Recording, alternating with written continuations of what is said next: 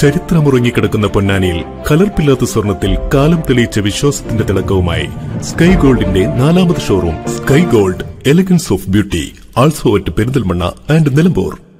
പൊന്നാനിയിലെ കുട്ടാട് പാടത്ത് യന്ത്രവൽകൃത നടീലിന് തുടക്കമായി. പൊന്നാനിയിൽ കാർഷിക വൃത്തി പൂർണമായും യന്ത്രസഹായത്തോടെ നടത്തുന്നതിന്റെ ഭാഗമായാണ് യന്ത്രവൽകൃത നടീൽ ആരംഭിച്ചത്.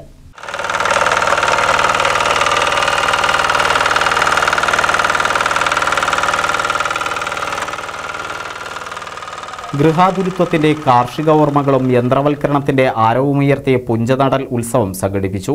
പൊന്നാനി എഴുപത്തിരുത്തി കുട്ടാടുപാടത്താണ് നടീൽ ഉത്സവം സംഘടിപ്പിച്ചത്. Kelappaji agriculture engineering college Tavanur അഖിലേന്ത്യാ സംയോജിത കാർഷിക ഗവേഷണ പദ്ധതിയുടെ അടിസ്ഥാനത്തിലാണ് ഇന്ന് ഇങ്ങനെയൊരു മുൻനിര പ്രദർശനം ഇവിടെ സംഘടിപ്പിച്ചിട്ടുള്ളത്.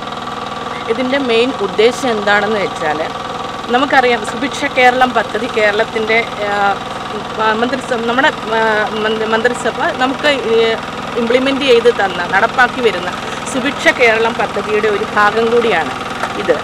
എല്ലാവർക്കും കൃഷി എല്ലായിടത്തും കൃഷി എന്ന സന്ദേശം ഉയർത്തിക്കൊണ്ടാണ് ഭക്ഷ്യസുരക്ഷ എന്ന സാമൂഹ്യ പ്രതിബദ്ധമായിട്ടുള്ള കാർഷിക നിലപാട് സർക്കാർ സ്വീകരിച്ചിട്ടുള്ളത്. സുഭിക്ഷ കേരളം പദ്ധതിയും അതുപോലെ തന്നെ പൊന്നാനി നഗരസഭയും നമുക്ക് നമ്മുടെ മണ്ണിൽ പണിയെടുത്ത് നാം വിളയിക്കുന്ന നമ്മുടെ കർഷകർ വിളയിക്കുന്ന കാർഷിക ഉൽപ്പന്നങ്ങൾ നെൽ നെല്ലുൾപ്പെടെ ഉൾപ്പെടെയുള്ള കാർഷിക ഉൽപ്പന്നങ്ങൾ നമ്മുടെ ഭക്ഷണത്തിന്റെ ഭാഗമായി മാറ്റുക എന്ന വിശാലമായ കാഴ്ചപ്പാട്.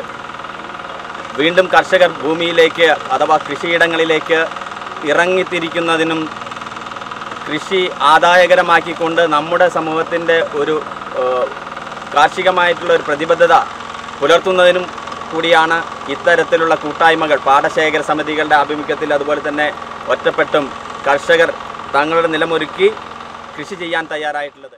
എഴുപത്തിരുത്തി സ്വദേശി മനോജ് പൊട്ടൻകുളങ്ങരയുടെ ഒരേക്കറോളം വരുന്ന പാടത്താണ് ഞാറ് നട്ടത്. യന്ത്രസഹായത്തോടെയുള്ള ഞാറുനടിയിൽ പരിചയപ്പെടുത്തുന്നതിനു കൂടിയാണ് പരിപാടി സംഘടിപ്പിച്ചത്.